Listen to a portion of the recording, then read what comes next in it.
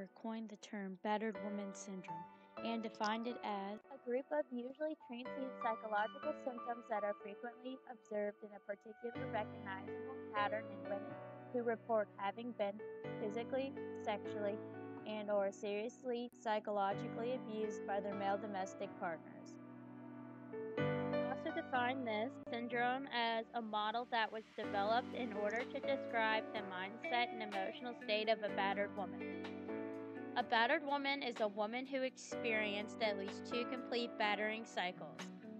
There are four stages of battered woman syndrome. First stage is denial. Denial occurs when a victim of abuse is unable to admit and acknowledge that they are being subjected to domestic violence. The Second stage may be guilt. Victims of domestic violence will experience feelings of extreme guilt and disgrace. They will believe that they have caused the abuse that the perpetrator has subjected them to. In many cases, the offender will convince their victim that they are forced to resort to physical violence in order to punish the victim for their negative characteristics. Stage may be enlightenment. This occurs when a victim of abuse recognizes that they are not to blame for the abuse that they are experiencing. They will begin to understand that no one deserves to be subjected to domestic violence no matter what characteristics they possess. Stability may be the fourth stage. Once the victim of abuse recognizes that the domestic violence they are suffering from is the fault of their abuser, it is only a matter of time before these victims understand the importance of escaping their current environment.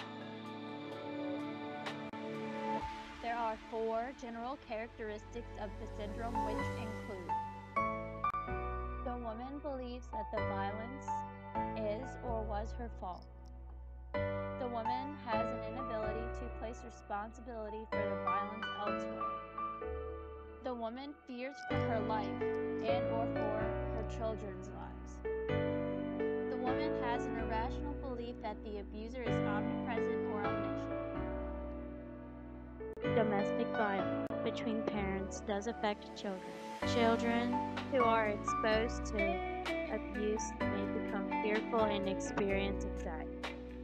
They are always on guard, watching and waiting for the next event that may occur They never know what will trigger the abuse and therefore never feel safe. They tend to always be worried for themselves, their mother, and their siblings. They may feel worthless and powerless. Intimate partner violence is the leading cause of female homicide and injury related death during pregnancy. There are three women that are murdered by a current or former male partner. Every nine seconds, a woman is beaten by her partner. One in four women will be victims of severe violence by a partner in their lifetime.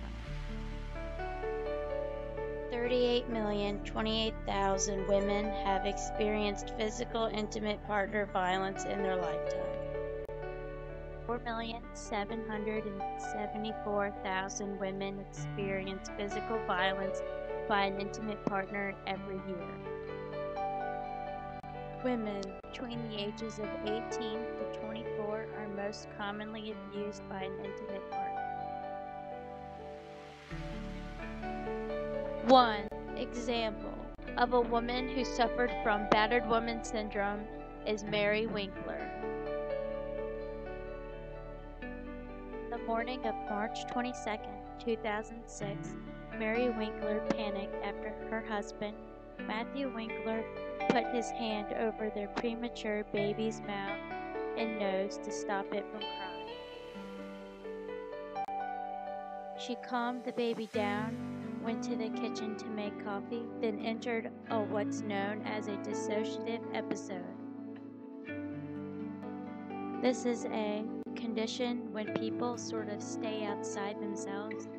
She remembers hearing a gunshot that morning, but does not remember fatally shooting her husband. Prosecutors described Matthew as a devoted husband, father, and preacher. gunned down by a panicked wife after she made a mess of their family finances. However, Matthew was emotionally and sexually abusive. Mary describes that he got upset over everything she did and would try to force her into doing sexual acts that she was not comfortable with. Mary was recorded showing signs of self blame after the incident, saying, I never spoke up. It's a two way thing. I just kept it all inside. There have also been other cases where women use the battered woman syndrome as justification for killing their abusers. Remain silent. Someone